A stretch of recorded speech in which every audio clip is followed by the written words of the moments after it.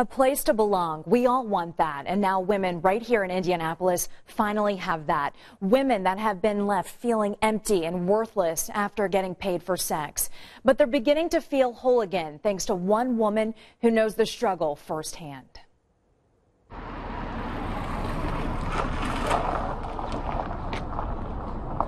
From the moment we opened our doors, it's just been on.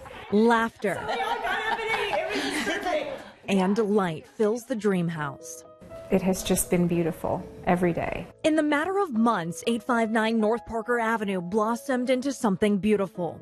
We first showed you what this place looked like back in October of 2018. You saw it before, and it was such a mess, and it was so broken and discarded, and and it was just rubble. This place is me. This place is every woman who enters. Look what can happen when you say, This is worth it, and I'm going to put in the effort, and I'm going to put in the love and finances and the sweat and the blood and the tears and the prayer and the community and, and all of the people who've come alongside this dream.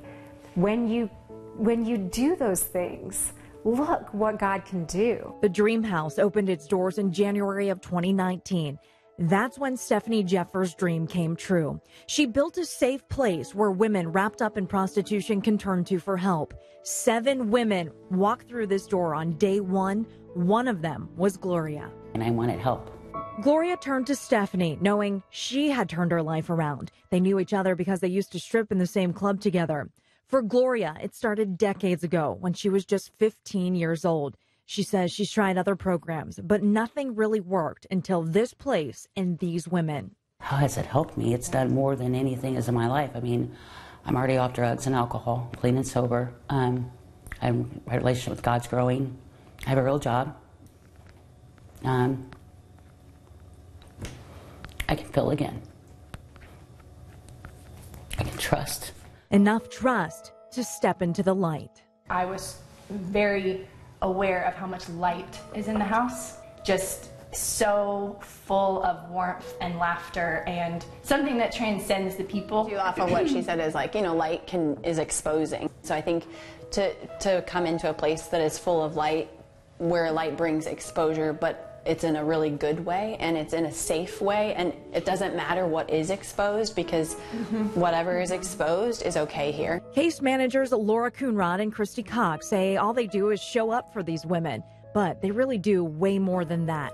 They serve the women lunch, they play games, they listen, and they don't judge. So far, about 30 women have come to the Dream House craving this escape.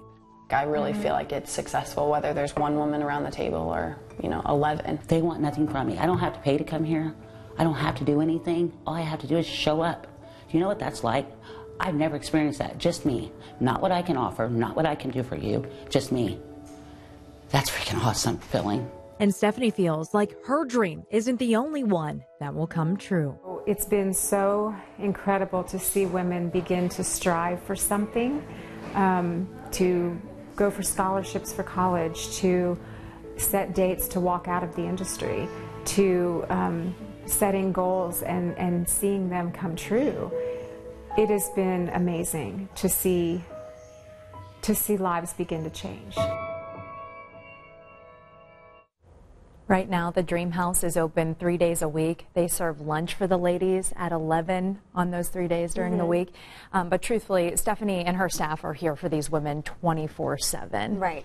She's a ray of sunshine. This place is a ray of sunshine. I mean, they talked about the light that comes into this place, and it's more than just the sunlight and the yeah. rays of sunshine. It's just something that transcends the people. Right. It's such a perfect metaphor for what these women really need in their life, just something to keep them going and get motivated. And mm -hmm. you can change your life no matter what. No matter what, at any point, too. So we encourage everyone to do that. And also, yeah. if you have a ray of sunshine in your life that you would like us to feature, feature and uh, just help us spread the positivity that is in this world that we so often don't get to hear a lot about yes. because people say the news is bombarded with negative news. Mm -hmm. You know, we're, we're not trying to report on all the negative things going on. So contact us to share the positive here in central Indiana. Yeah, we want to tell a good stories. We do. And you do a great job of doing that. Thank